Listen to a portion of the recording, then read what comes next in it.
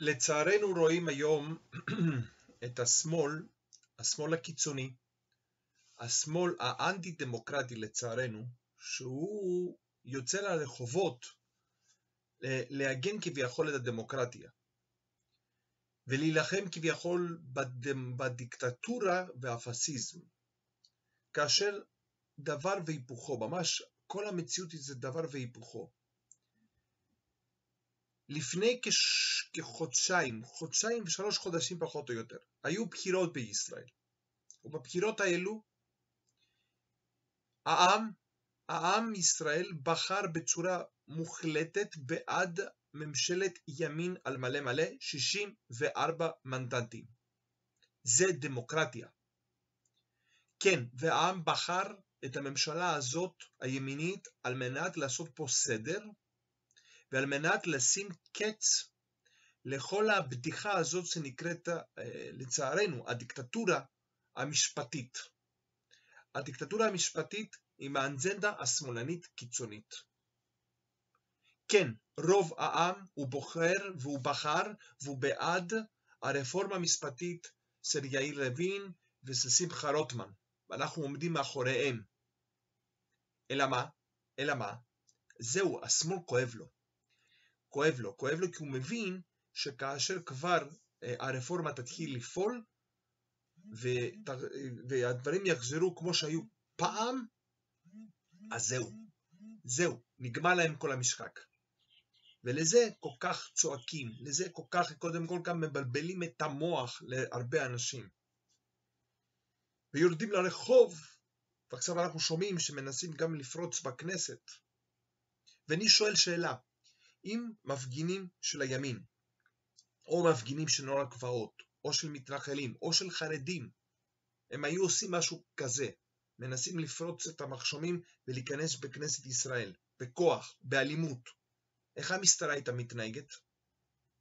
מה התקשורת הייתה אומרת?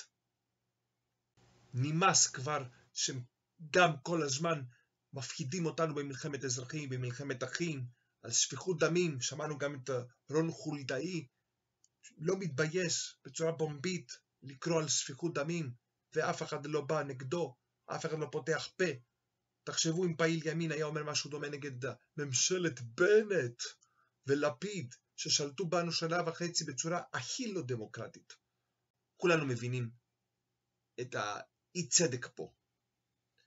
ואנחנו פה, אני, זה, אני, אני כאיש ימין, כאיש פטריוט ישראלי, נמאס לי, ממש נמאס לי.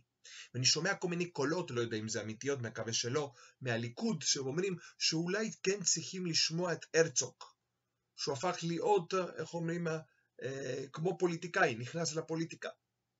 משחק פוליטי על מלא מלא בעד השמאל. אוי ואבוי אם אנחנו נתקבל.